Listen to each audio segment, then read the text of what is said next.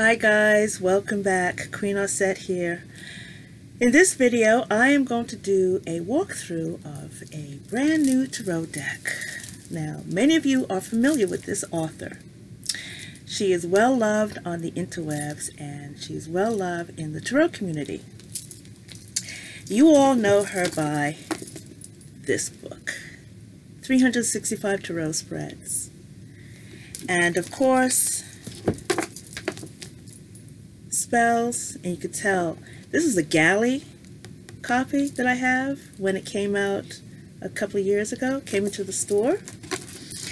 And she's got a brand new book. If you are an RWS fan, aficionado, get this book. Yes, I'm encouraging you to get a book. I'm a bibliophile. I know books take up a lot of room and all of that, but if it's a tarot book, I'm going to get it. We'll go through that book in a little bit. But the book that introduced me to Sasha Graham was this book, Tarot Diva. And I know it looks cutesy and all of that, but this was my tome back in the day. This book and Tarot Plain and Simple by Anthony Louis this book came out in, oh gosh, um, I don't know. First printing was 2011. This is one of one of my tomes. The reason I loved it, it says, ignite your intuition, glamorize your life, and unleash your fabulosity. I mean, this book, don't underestimate the power of learning to row using this book. I know that we use a lot of there's a lot of serious books out there written by serious authors, you know, DuQuette and Place and all of that.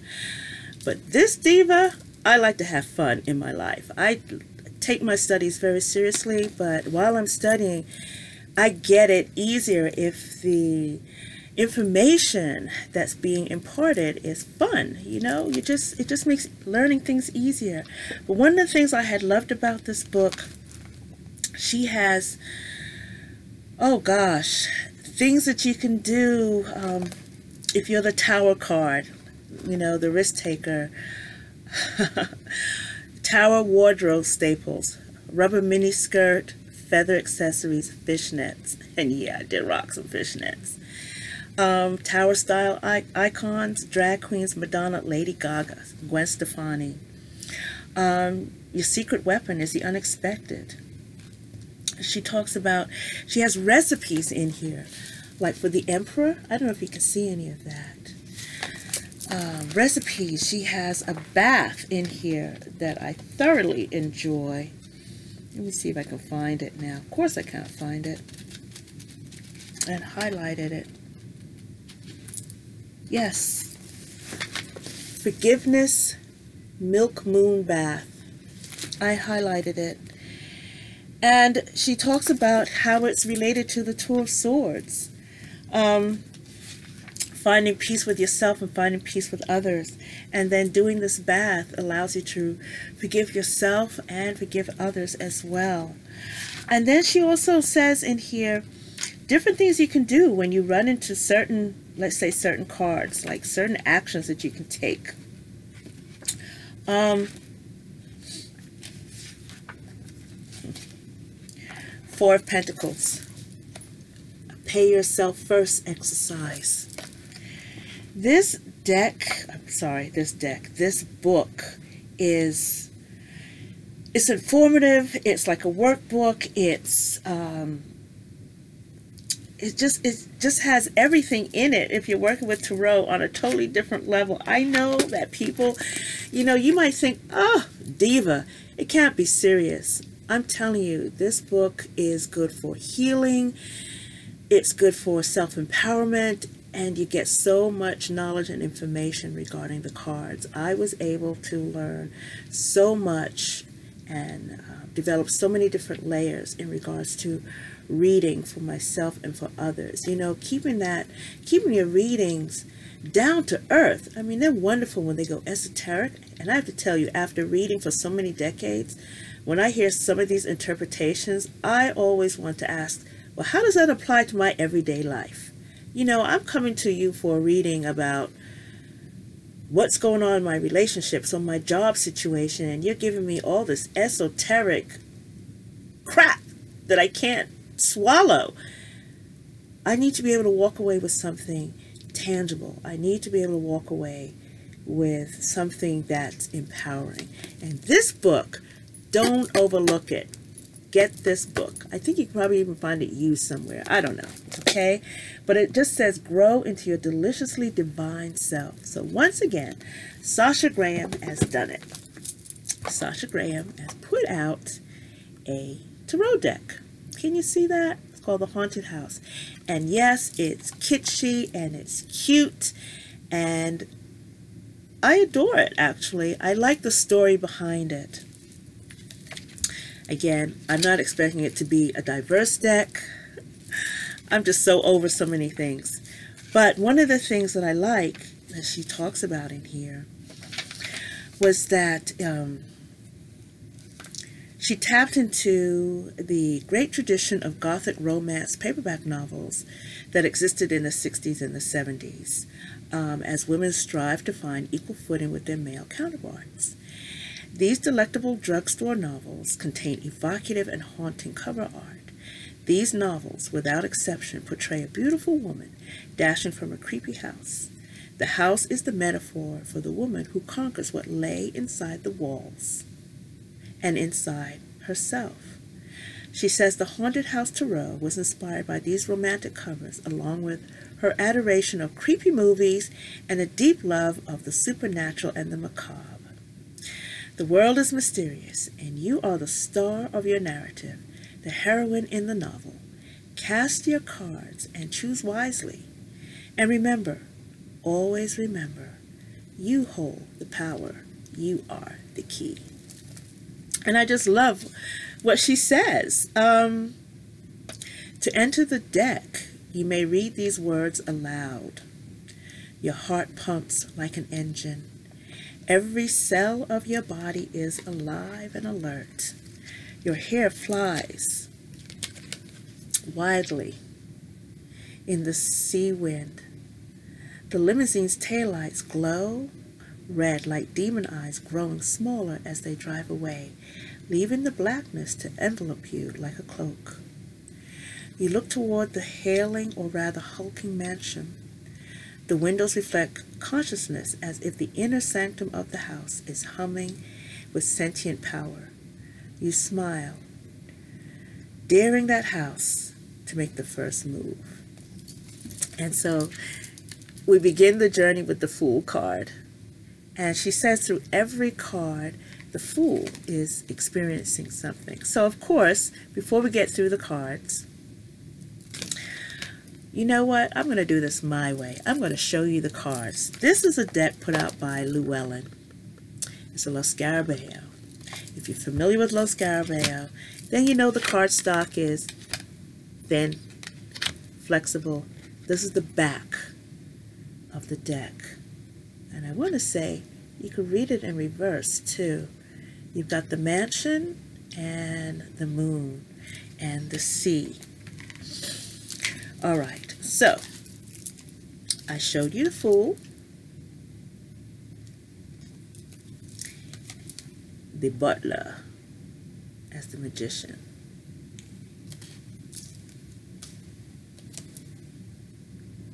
Who is this lady?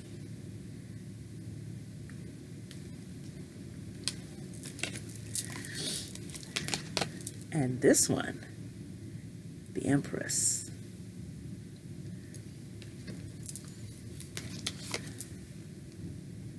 The Emperor.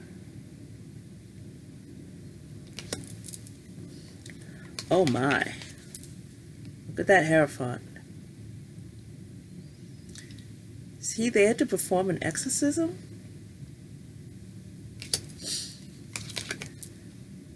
L'amour, l'amour.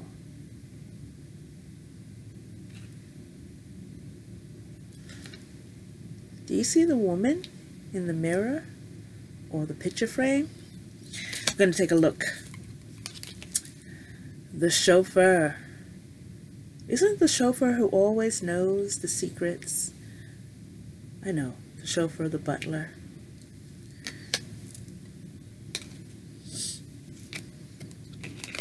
This is a different strength card. She's looking at herself. That's a mirror image. The infinity symbol around her neck? Look at this hermit. And there she is, watching him.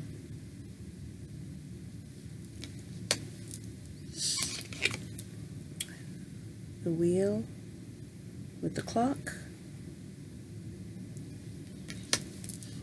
Oh boy. Oh.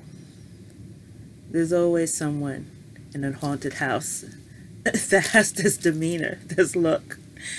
And sometimes they might actually turn out to be the kindest person. Death card. Oh, sorry, hangman rather. Buried in the walls. We have the death card here.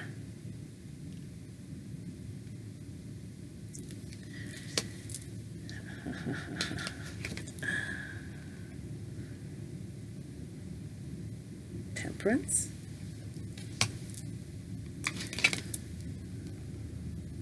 The devil.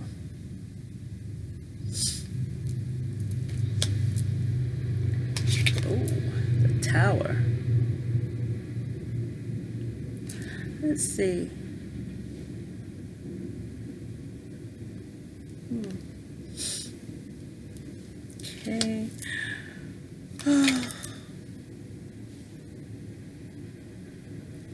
the star.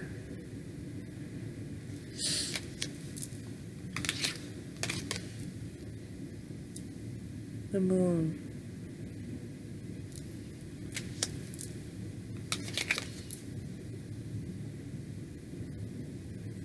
Sun.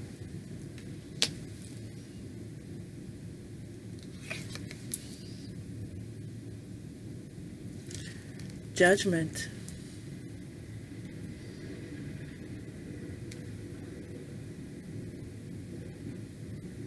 Think this is more than an actual resurrection. This seems like a rescue.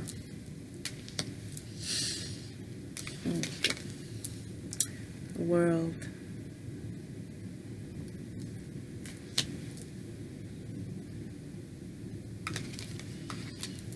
Ace of Cups.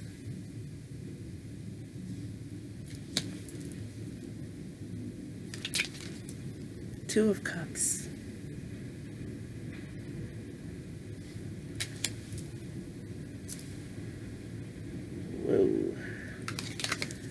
Three of Cups. I think we're going to take a look at that card. Four of Cups.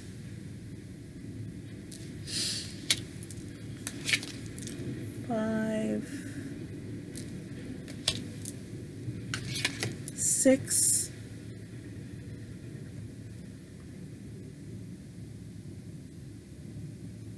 I'm going to see what this is in the booklet. Is this remembering, giving to your younger self, remembering things past?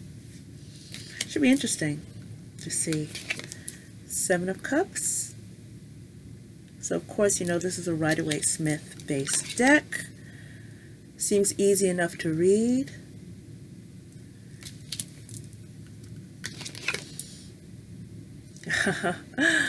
Look at the portrait behind this gentleman.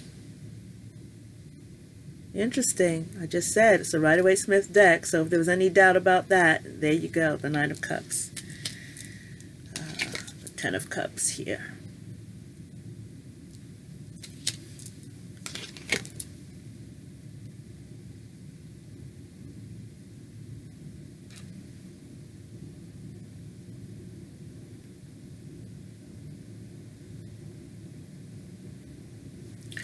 Page of Cups.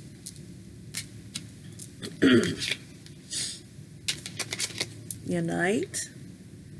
And of course, you know, with most Los, Los Scarabeo decks, I actually appreciate that this one is borderless.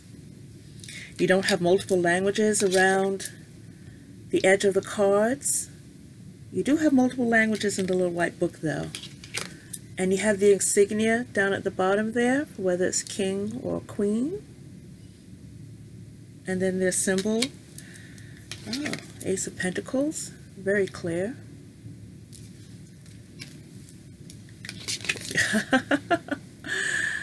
well, who are they?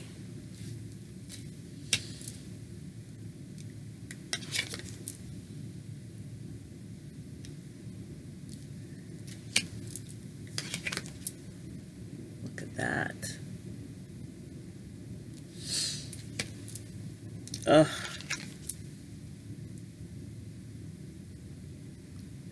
Wow.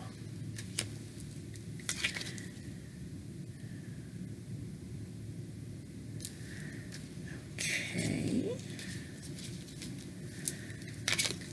Seven of Pentacles.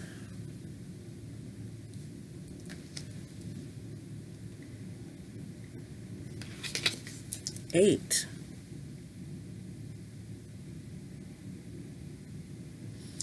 To take a look at that too. Here in the nine. So she goes from being trapped in the Eight of Pentacles to actually being free. She has a, an owl. Oh, look at that, Ten of Pentacles.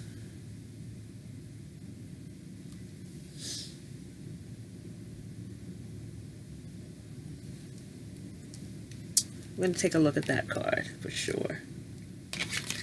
Here's your knight.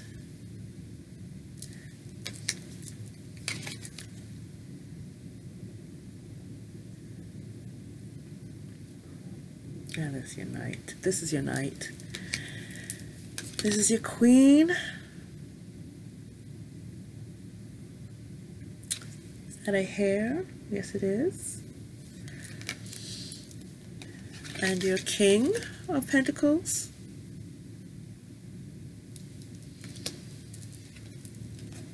Ace of Wands. Two of Wands. Making a decision to walk forward. To move forward. Three of Wands.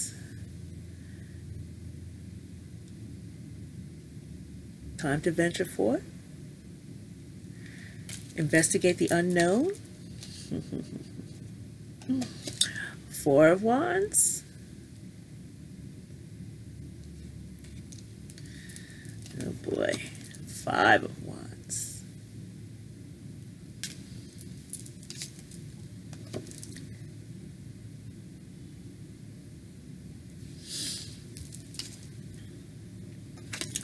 Wow. Seven. Uh, this adds another layer to that. Um,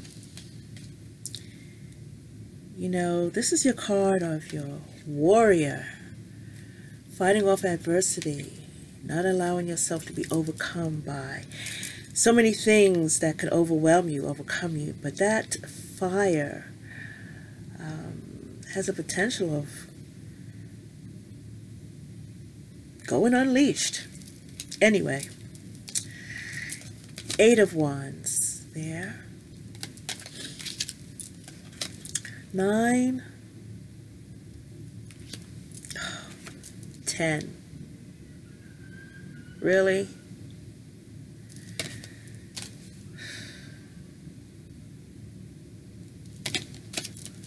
I don't know. I'm going to see what she says about this in the book. There's your Page of Wands. Is that a merry-go-round in the background? Yes, it is.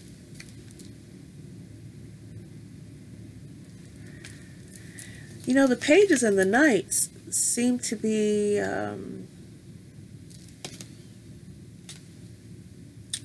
You know, the pages have horses. I think I'm going to take a look at that again. And this knight has bats. That page had horses. And we're so used to seeing knights with a horse to indicate that movement. The Queen of Wands. Chic. elegant. Is that a grand piano? Yes, it is. Oh, the King of Wands, rescue me. oh my. Yes. Rescue me. Let's see. Ace of Swords.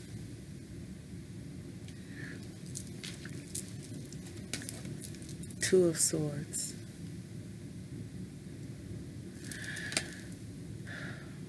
I don't know. Are we blinded by our passion sometimes? That could have us feeling stuck. Oh, Three of Swords.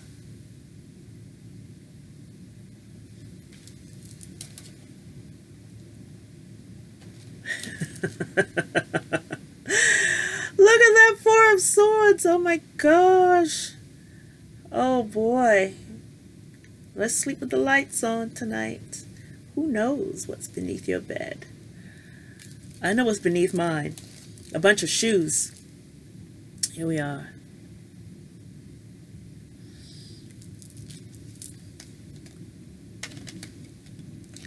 Six of Swords. Are we leaving a cemetery here? What are we leaving? No, we're not. Um, a wharf. I see water. There's a ship in the background. Lightning.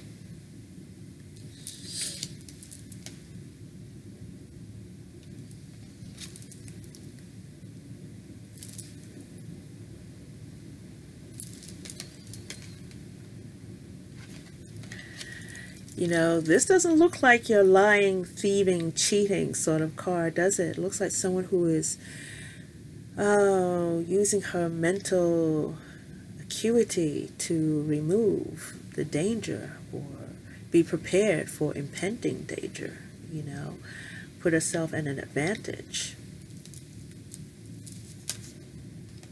Eight of Swords.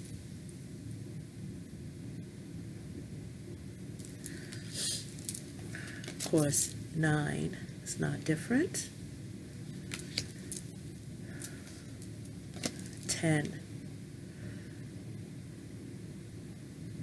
Wonder who that is.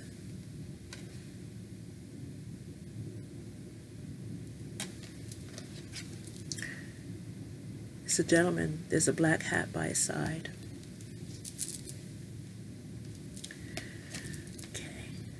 Page.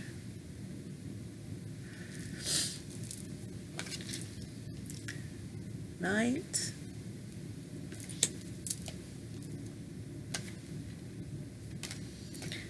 I don't know if I like this Queen of Swords. But, you know, it's a haunted house. You're not supposed to. Ooh.